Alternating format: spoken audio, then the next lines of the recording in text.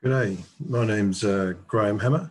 I'm a professor in crop science at the University of Queensland. And um, it's a pleasure to present this uh, seminar on the APSIM Initiative online series. Um, I've been involved with the APSIM initiative since the onset of the development of APSIM in the 1990s. Um, and I'd, I'd like to share with you some thoughts about the nature of crop models and modelers that we need to advance crop adaptation and improvement. It's, so it's not, there's, there's not such a technical presentation about how to use APSIM, it's a little bit more about um, why we need it and, and what, what is sensible to do with it and what characteristics, what uh, attributes one needs to do that sensibly. So it's a little bit more of a discussion about crop modeling and its relevance and um, how to do it. So there are five sections to the presentation. The first one is about serious play with crop growth and development models that I just call CGMs for short. So, so the, the point there is about extrapolating beyond experimental possibility so that one can use simulation as a means to innovate. And I'll expand on that a bit. And this introduces the question of credibility, which is an area I want to focus on throughout the talk. The second section is about CGMs and in silico exploration. And I'll give two examples of what I mean by that. One in relation to application to crop, design, genotype by management by environment interaction for a sorghum case study, and another one on simulating emergent phenotypes for application to breeding. So the first one is more agronomic, and the second one is more relation to breeding and genetics. And, and then the third part is, is really about if we need credible models to do the in silico exploration, how do we assess CGM credibility? And I'll give some indication of what I think is, re is relevant for that in terms of quantitative and qualitative tests. Fourth point is then how do we assess modeler credibility? So it's not only about having a model that works, it's people who use them have to be, have to understand them and um, have both technical and interpretive capabilities to use them with credibility. And I think that's a critical point. And I'll come back to some broader implications about serious play with models and how connectivity across disciplines is needed to really make it work. so the, the first part of this is, is about um, serious play with CGMs.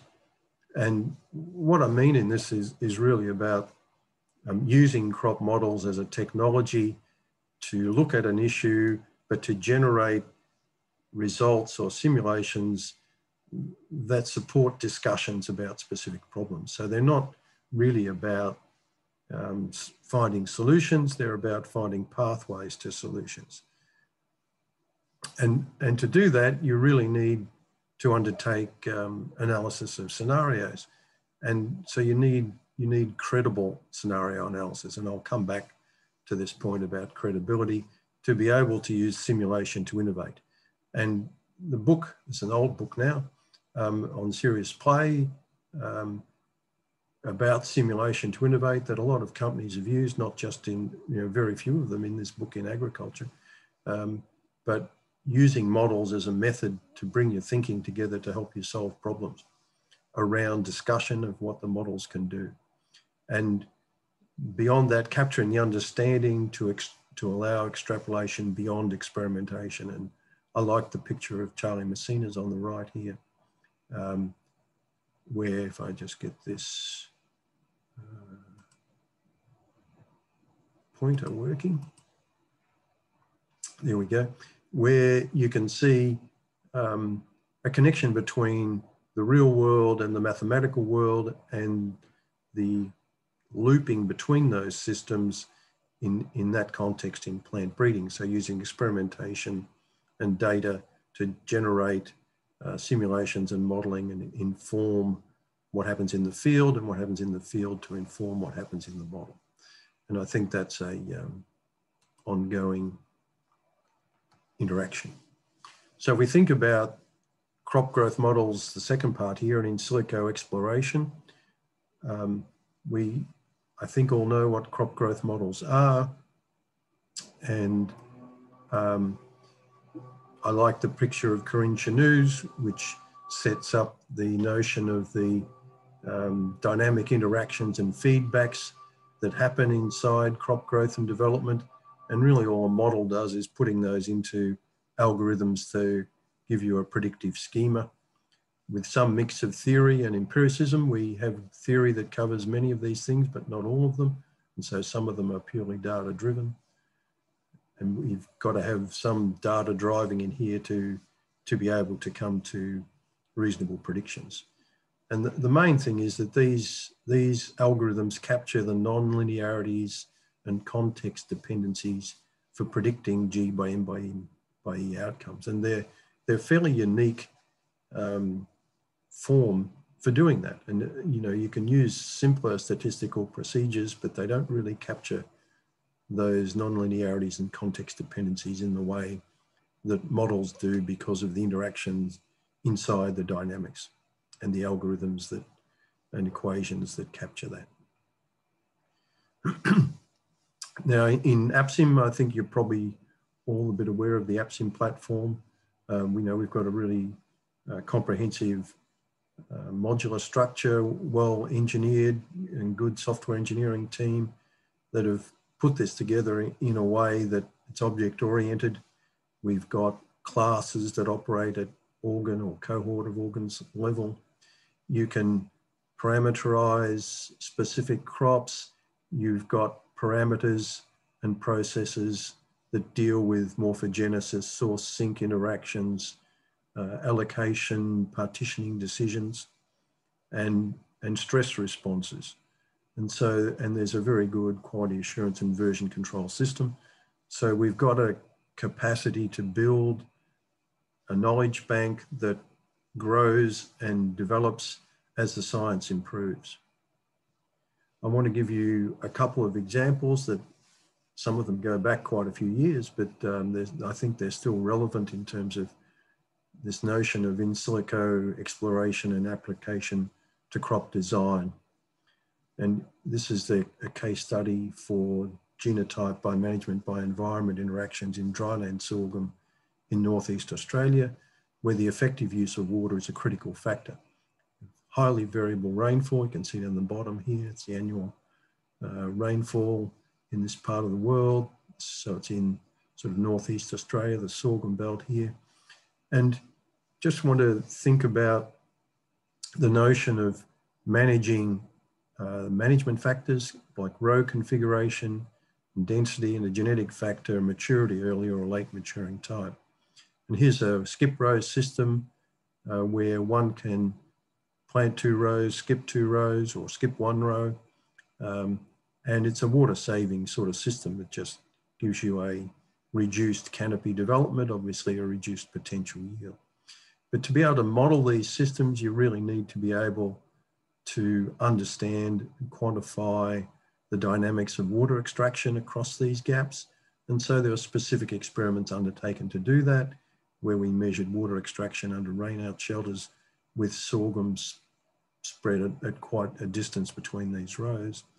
And this graphic here, you could then determine each of these lines is a, is a measure of water uh, content of the soil um, by depth. So this is depth, and then you can see the gradual spreading out of the capture of water by the root system from the two rows. And so we can put algorithms together that capture the dynamic of how a skip row crop um, accesses water in the soil. And similarly with density and tillering, we can change the canopy development, which changes the water demand, increase the density, you increase the leaf area, increase the tillering, you do the same. And so you get this dynamic effect on demand for water. and if you put those two into a simulation system, we can look at um, a simple trade-off between a standard strategy where we might have a medium maturing cultivar, five plants per metre squared, and every row is planted. So this is a fairly conventional agronomy for sorghum. And so that's the standard yield for a 100 year simulation. And if we contrast that, we plot against that the yield of a high input or a low input strategy. So if we intensify, go for a later maturity, higher density, then you get these blue points. And if you go for a low input strategy, same maturity, but a lower density and a skip row system, then you get these red points. And you can see that you get this trade-off with this higher intensity system paying off in the high yielding seasons, but causing grief in the poor yielding seasons, whereas the low intensity system is much more stable, but overall, on average, a bit lower yielding. So you've got this trade-off between um, productivity and, and risk, and, and really it's the decision maker's attitude to risk that um, determines which way to go there. So that this provides basis for the discussion, um, excuse me, not for, um, doesn't make this, the, the, doesn't give you the answer, it just gives you a basis to discuss what an individual might want to do depending on their attitude to risk. In, in breeding, similarly, we can think about um, simulating uh, complex phenotypes via their component traits. And we can, if we think of the model in the middle here, then we can use that to detect what aspects of genetics are connecting to various coefficients in the model.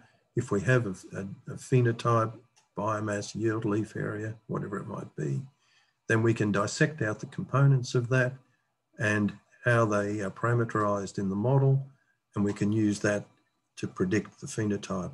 So those parameters connect back to the, to the genotype, which can connect us through to the phenotype. So we can, with, with that understanding of how these uh, traits relate to the genetics and to the phenotype through the dynamics of the model, we can simulate some of these trait dynamics.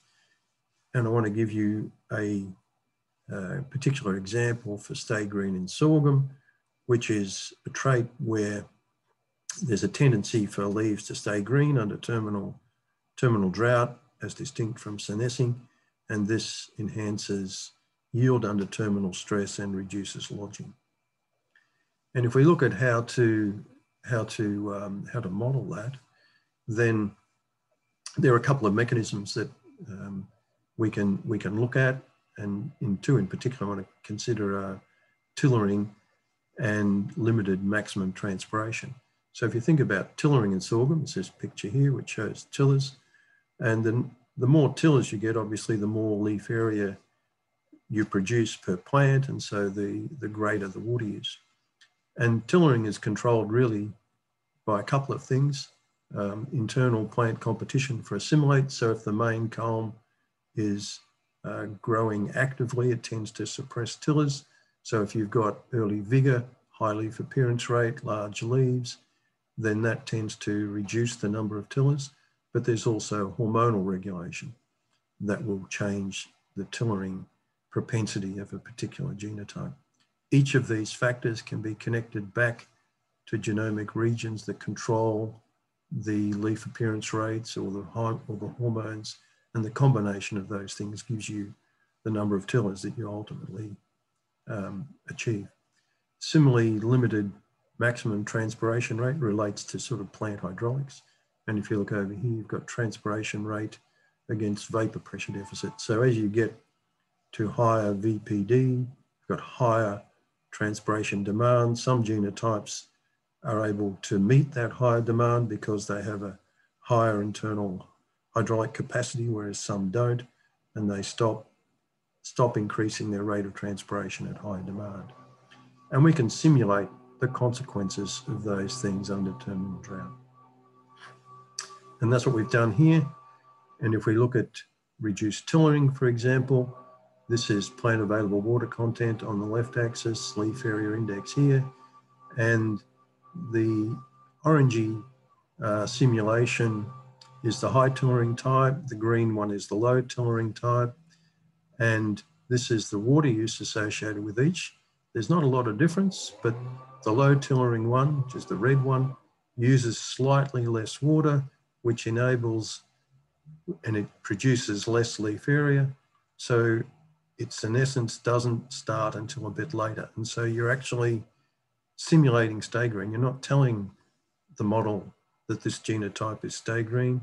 All you're telling it is about tillering and it's generating stay green as an emergent phenotype. And that gives you slightly increased yield under these terminal stress conditions. Although when you then uh, apply that across 100 years of seasons, you'll see it's advantageous in these seasons where uh, there's terminal drought or some water limitation and yields below about four and a half tonnes.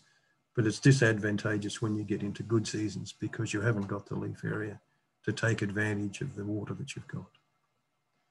Similarly, with limited maximum transpiration, what happens here is the plant uses um, reduces its conductance during the middle of the day when vapor pressure deficit is highest. So it actually has a slightly increased transpiration efficiency. And so the similar leaf area, but the one with the limited transpiration uses water uh, less. And so the red line, which enables it to maintain its green leaf area longer. And in this instance, again, generates increased yield under terminal drought um, and is not so disadvantageous at under very high conditions, but still has a bit of a trade-off because you're shutting stomata in the middle of the day when they could otherwise be uh, capturing CO2. So again, you can simulate the emergent complex phenotype from an understanding and quantification of the traits that underpin it. So what do we what do we have to do to have um, crop growth models that are credible and sufficiently credible to do that sort of thing. Um, I, I, think there are a couple of points that, you know, that a CGM must reliably generate the emergent phenotypes relevant to the question at hand.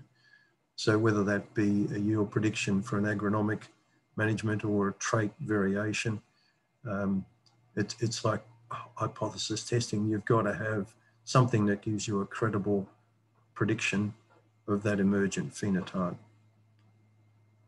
And so you've got to be able to extrapolate predictions to a diverse set of situations in what I call the adaptation landscape. So that's the broad G by M by E set of circumstances that goes well beyond where the testing where a model is built. It, you, it's got to be able to extrapolate in a credible way. So how do you assess that? And I think there are three ways you can do that. Firstly, you can look at the ability of the model to predict phenotypic outcomes for diverse experiments with high quality data. And I can't emphasize enough the need for high quality data. You want to have a situation where it's not the data that's questionable. If the model can't predict the data, it's the model that's questionable. And you secondly want to, an ability to generate known responses to key factors. So if you know there are agronomic or genetic responses, then the model should be able to predict them. And similarly with emergent phenotypes with key traits. So there are sort of three things that you can use to assess model, model credibility. All of those require close attention to the realism of the functions in the CGM and their grounding in experimental and, ex, experimental evidence and theory and so it's, it's important that um, in parameterizing models for these sort of tests, it's clear the parameterization is transparent. And so you, you, you're learning when or why does the model fail. I want to give you one example from some work we did on, on maize, um, testing uh, a maize model when we added a nitrogen component to it.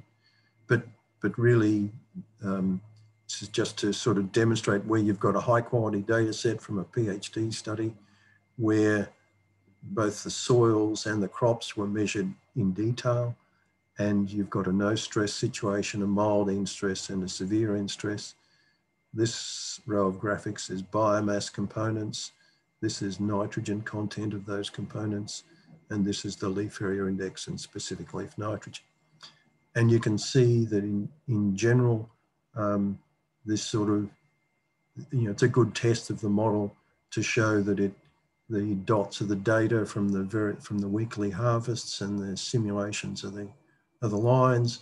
And so in general, some exception down here for leaf area under severe N stress, you know, the model is able to predict the dynamics and the effects of these sequences of these treatments on this very detailed data set quite well.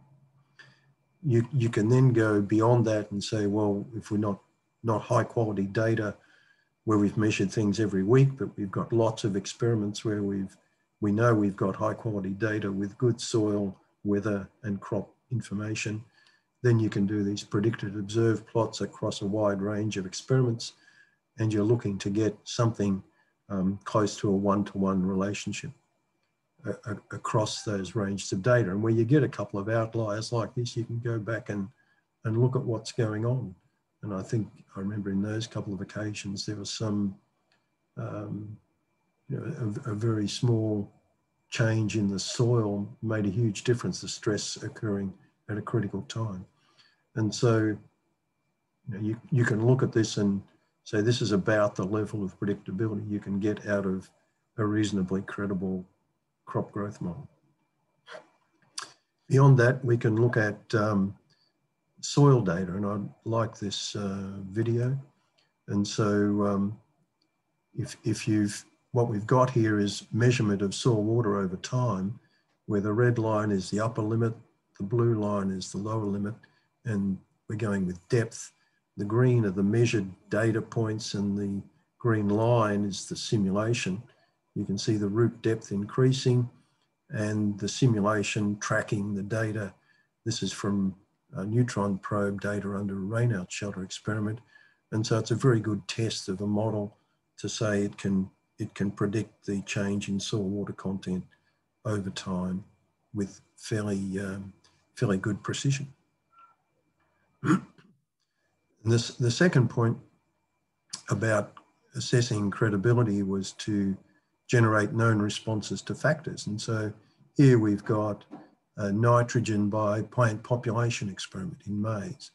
And if we look at the second panel, it's yield, there's, um, you know, un under high nitrogen, and this is irrigated, under high nitrogen, you've got increased response and yield to population, whereas under low nitrogen, you tend to crash out.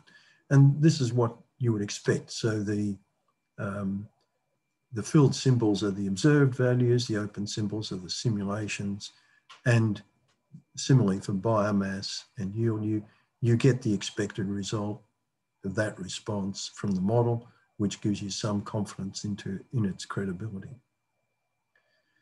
you can do something similar for emergent responses from genetics, from traits, um, it's a fairly complicated example, but if you want to chase it up, I'd say go and look at Charlie Messina's paper in Silico plants. What we did here was we, in, we enhanced the maize, maize model, excuse me, in APSIM by adding a grain abortion routine that looked at cohorts of grains along the ear. And this, these experiments uh, were experiments where there was a series of different water stresses that were relieved at different times. And this is flowering.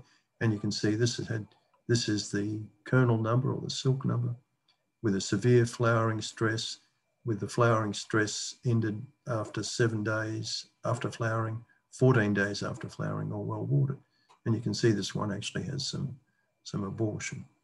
And with this cohort model, um, we're able to simulate that sort of response reasonably well. So here's the, the data for yield for two years against those different stress treatments where um, the first one is the well watered and then the different levels of stress and you can see the simulated yield response.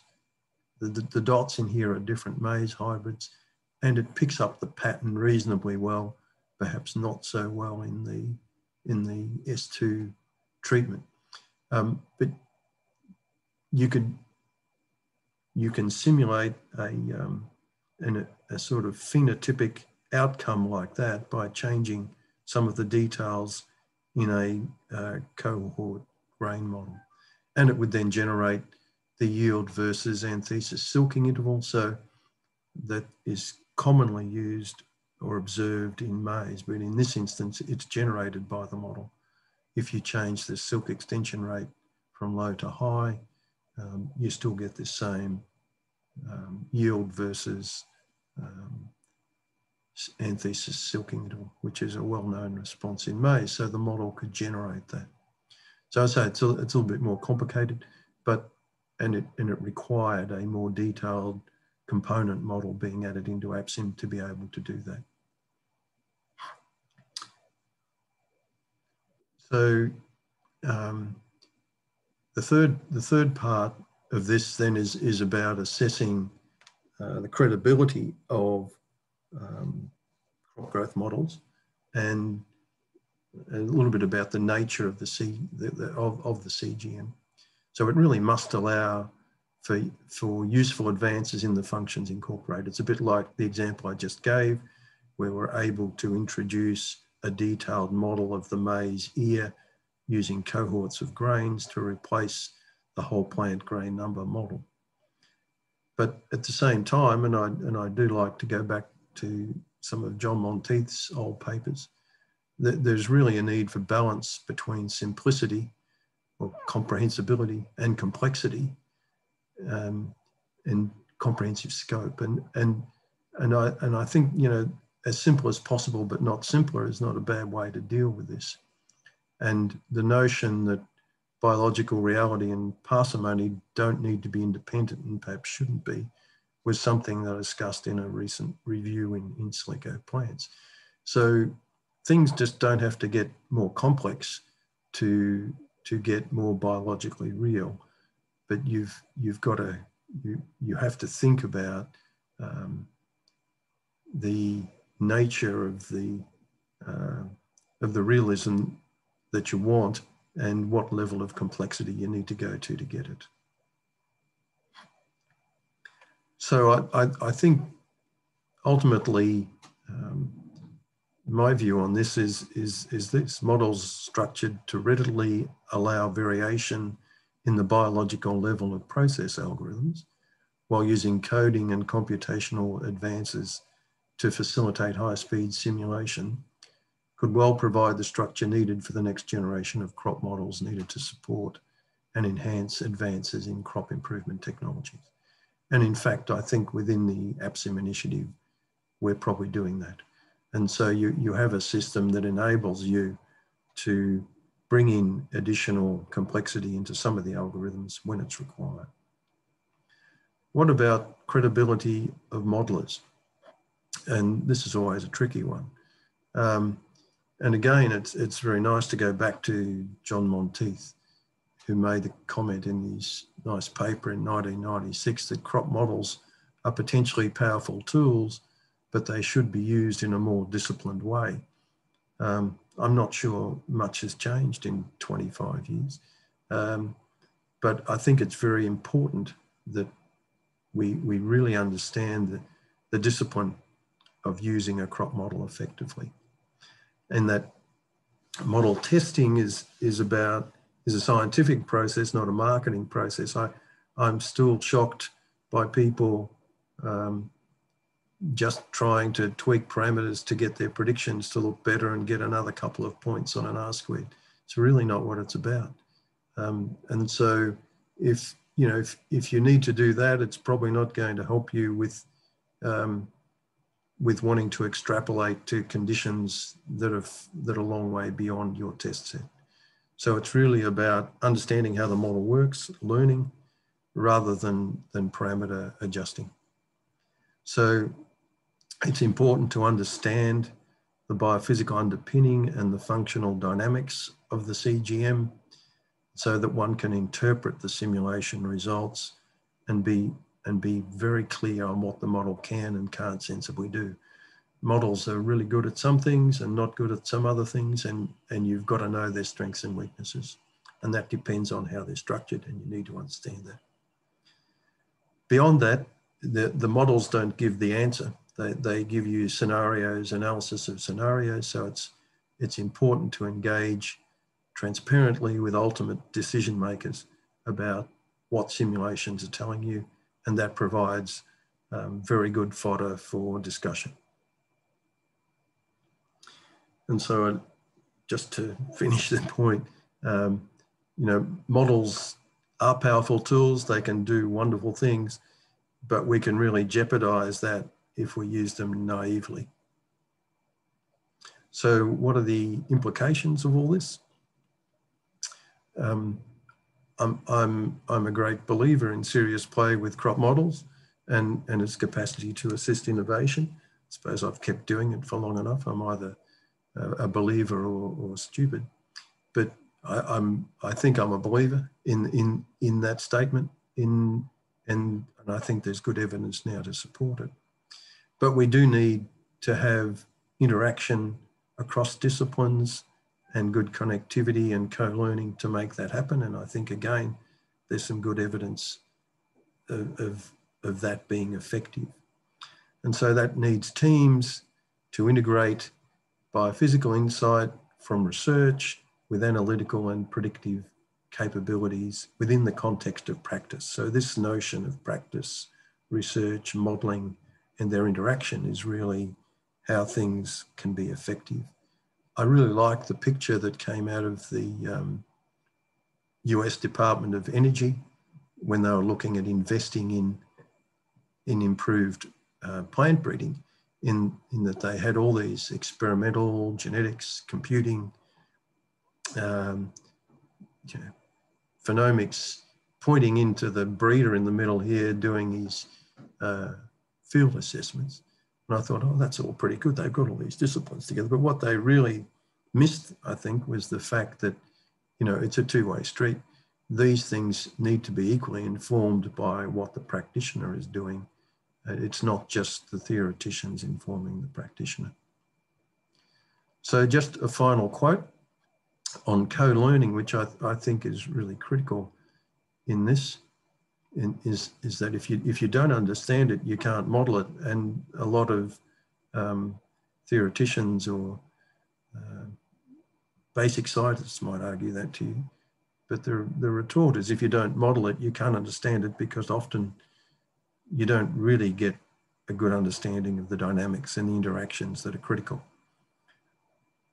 So with that, um, I thank you for listening and um, I hope you're enjoying the seminar series.